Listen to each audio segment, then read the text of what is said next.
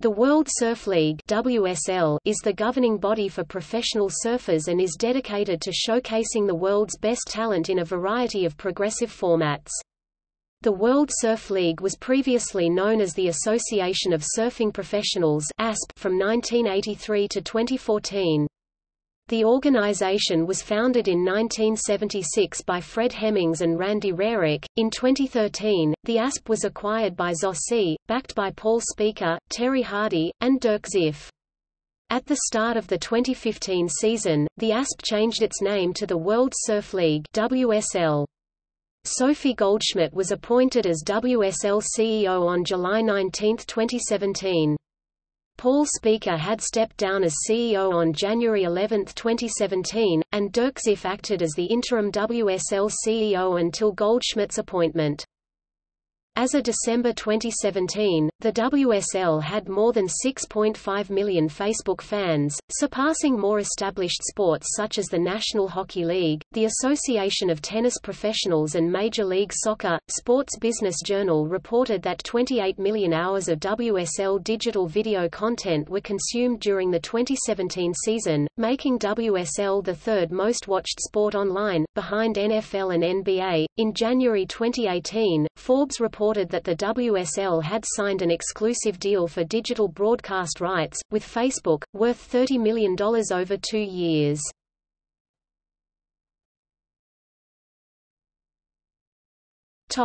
History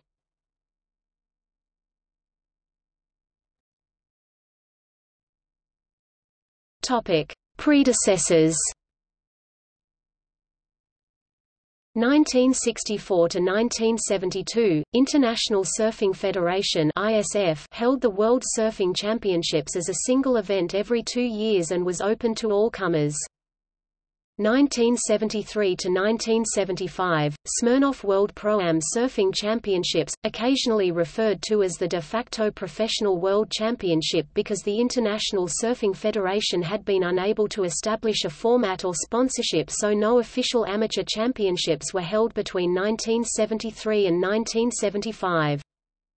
1976 to 1982, International Professional Surfers (IPS) was the original world governing body of professional surfing. The predecessors of the WSL relates to what organization predominantly represented individual professional surfers at that time. This is an important point because the International Surfing Federation (ISF) still functions to this day as the International Surfing Association (ISA) and also refers to competition winners as world champions or variants thereof. Topic creation of the ASP, WSL Ian Cairns watched the demise of the IPS commence throughout 1982 and saw an opportunity. In January 1983, Cairns launched the ASP and lured the World Circuit organizers to the new organization, which effectively pushed aside the IPS who were left to operate only the Hawaiian Pro events. By December 1984, the ASP had sanctioned the IPS-controlled Pipeline Masters as a specialty event available to ASP members to enter for the first time. At the start of the 2015 season, the ASP changed its name to the World Surf League WSL. The WSL has remained the predominant surfing organization and sanctioning body for professional surfers since its formation. The WSL's first world champions were Tom Carroll men's and Kim Mearig women's in 1983. In March 2015, WSL launched a free downloadable app, which garnered more than a million downloads in its first year. The app provides real-time updates on competitions and provides personalized alerts, letting fans know when their favorite athletes are about to enter the water. In April 2016, the World Surf League introduced WSL Pure, its philanthropic initiative dedicated to supporting ocean health through research, education and advocacy. WSL Pure has contributed an initial $1.5 million in funding that will support scientists from the Columbia University Lamont Doherty Earth Observatory, as they lead research into ocean health and ecosystems, ocean acidification, sea level rise, and the role the oceans play in climate change.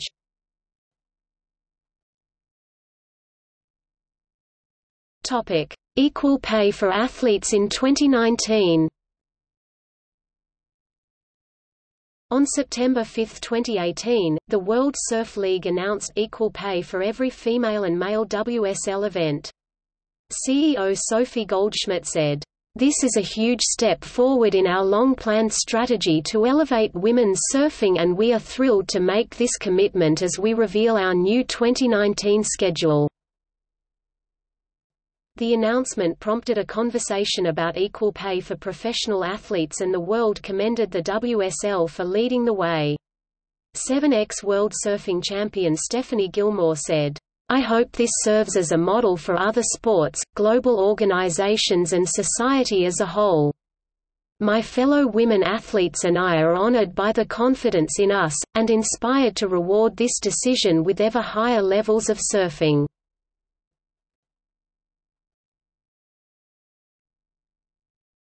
Topic: WSL membership. WSL membership is only available to individuals and a few GCs.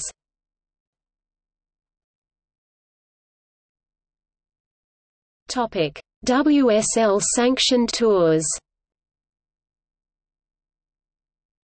WSL Men's Championship Tour (CT) WSL Women's Championship Tour CT WSL Men's Qualifying Series QS WSL Women's Qualifying Series QS WSL Men's Longboard Championships.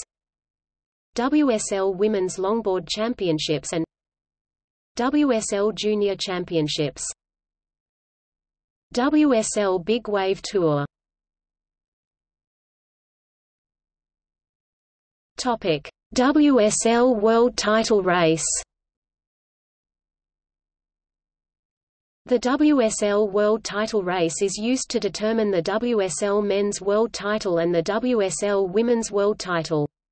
The winner is referred to as the WSL Tour Champion. The WSL Men's World Title is given to the surfer with the most accumulated points from their respective best nine results from the 11 WSL World Tour events WSL Qualifying Series QS events excluded. The WSL Women's World Title is given to the surfer with the most accumulated points from their respective best eight results from the 10 WSL Women's Championship Tour events WSL Qualifying Series QS events excluded.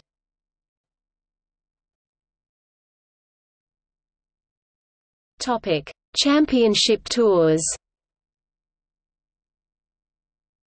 The WSL Men's Championship Tour (CT) is the men's elite competition consisting of the best 34 professional surfers competing in 11 events as of 2015. The WSL men's prize money for winning a CT event is $100,000 US. 2019 event schedule. Gold Coast Men's Pro, April 3–13, 2019 Rip Curl Bells Beach, April 17–27, 2019 Bali Men's Pro, May 13–24, 2019 Margaret River Pro, May 27 to June 7, 2019. Oi Rio Pro, June 20 to 28, 2019. J Bay Open, July 9 to 22, 2019.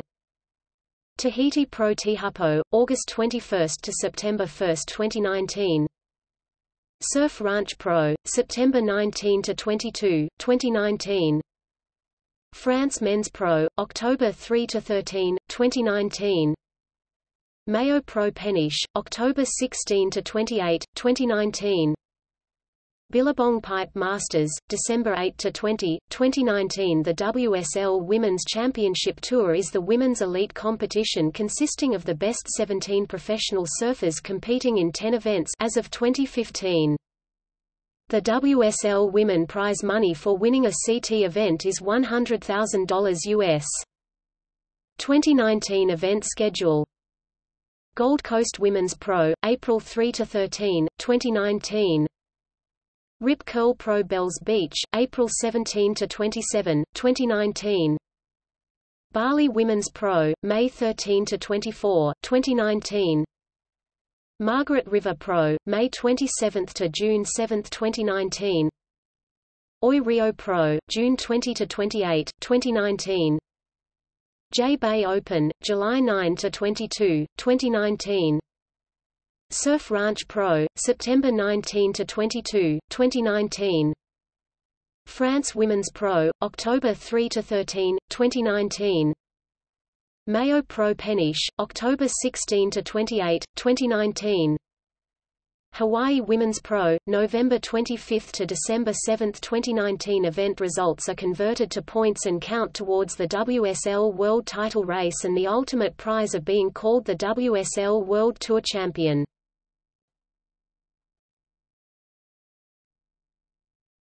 Topic: WSL qualifying series events A WSL QS 10000 event is held at premium venues with a restricted field and offers WSL QS 10000 World Rankings points. A WSL QS 1000, 1500, 3000 event is a lower level of competition, compared to an WSL QS 6000 and 10000 event, with their importance indicated by how many points they are assigned. More points means generally better competition and prize money.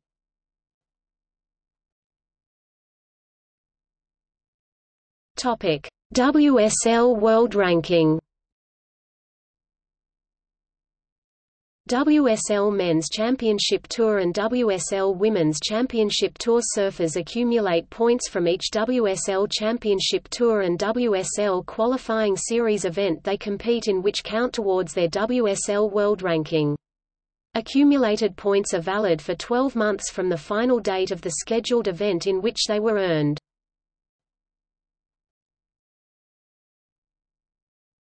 Topic: Promotion and relegation. WSL World Ranking determines the promotion or relegation of surfers.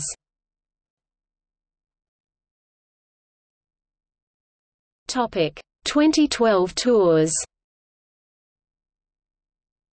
The qualifiers for the 2012 ASP World Tour Top 34 surfers was determined using a rotation points system. The qualifiers for the 2012 ASP Women's World Tour was determined by a surfer's rank at the conclusion of the 2011 tour. The top 10 re-qualified for 2012 and the remaining seven places were taken from the ASP Star ranking. Topic 2013 to 2018 tours. The qualifiers for the following year's WSL Championship Tour Top 34 surfers will consist of Top 22 surfers from the previous season of the WSL World Title Rankings. Top 10 surfers from the previous season of the WSL World Qualifying Series QS rankings those who haven't already qualified in the above and two WSL wildcards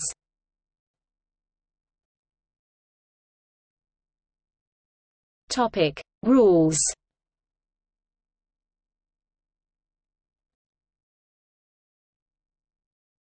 Topic: Judging.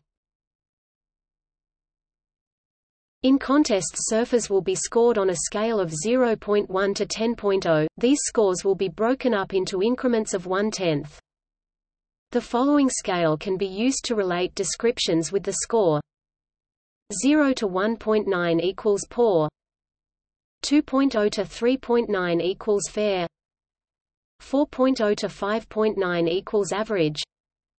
6.0 to 7.9 equals good. 8.0 to 10 0 equals excellent. equals. Topic. Judging criteria.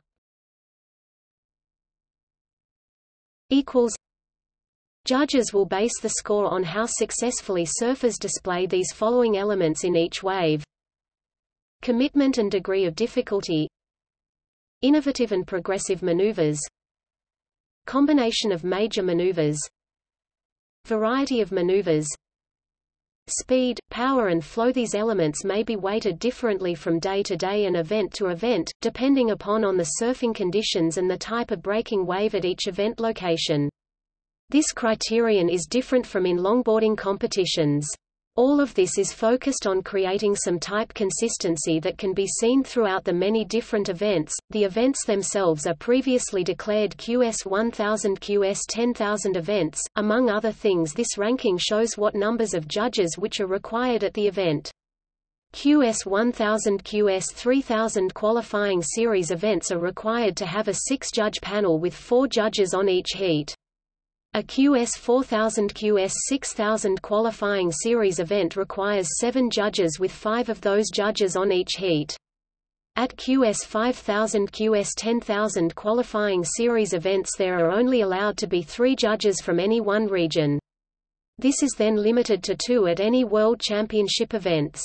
All events also require an WSL-approved head judge who has the ability to make corrections to errors or any other events that may have affected the results.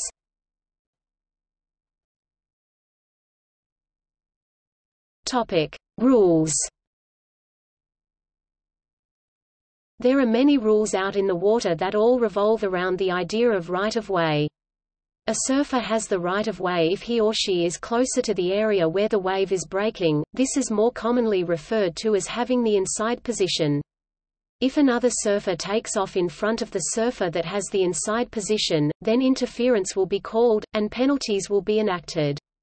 In most circumstances it does not matter who stood up first but who has the inside position. A surfer can also be found guilty of interference if they catch more than their maximum number of waves in a heat and that this takes away from the other competitor's ability to catch waves. A competitor is also not allowed to interfere with another competitor's paddling and maneuvering for a wave. The rules of right of way vary slightly with the type of break. Point breaks will always have a consistent direct of what is inside, that is, the person further up the line will have right of way. In a single peak situation where there is both a left and a right two people are able to be on the wave at the same time, provided that one goes left and one goes right and that neither crosses the path of the other to go one direction. If this does happen then, the surfer who stood up first will get the right of way. On a multi-peaked wave where the wave eventually comes together, both peaks can be surfed until the surfers come together. When they do the surfer who stood up first has right of way, and the other must maneuver to get off the wave without interrupting the other surfer. In a one-on-one -on -one competition, priority can be declared by the head judge. Once the person with priority has paddled for a wave priority is then turned over to the next person until that person does the same.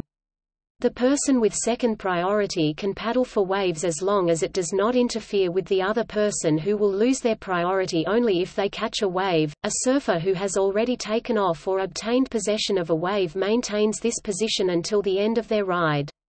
If another surfer takes off on the inside of this surfer, then this person does not obtain priority and is considered to be snaking.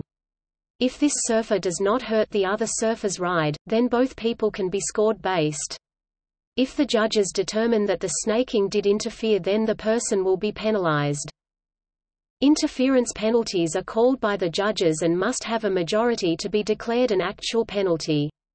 Interference are shown as triangles on the score cards in various different ways depending on when or where in the heat they were made. If three or more waves are being scored then one wave will be dropped off the score card. If only the top two waves are being scored, then 50% of the second best scored wave will be taken off. If a surfer has more than one then 50% of the best wave's score will be taken off also. The surfer who has been interfered with will be allowed an additional wave to their maximum as long as it is within the time limit. If a surfer interferes more than twice in a heat then they must leave the competition area.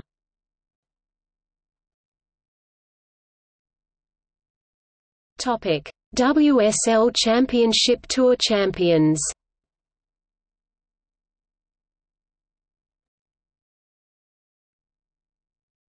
Topic: WSL Longboard Championship Tour champions.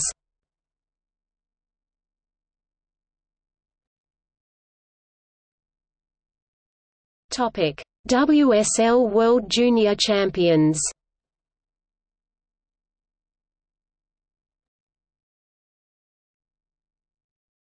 Topic: WSL Big Wave Championship Tour champions.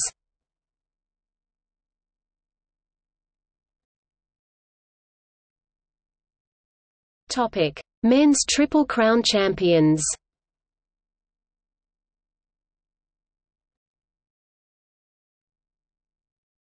Topic: Multiple World Championships.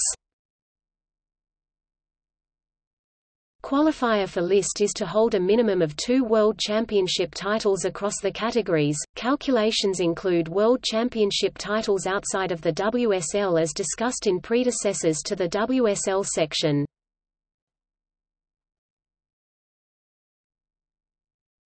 Topic: Top nations.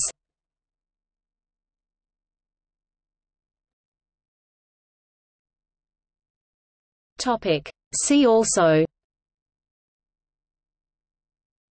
International Surfing Association Surf International Authority According to the IOC, International Olympic Committee with 86 current members including USA, Australia and Hawaii surf governing bodies, ISA is trying to get 100 members during 2015 to bring surf at the Olympics Games.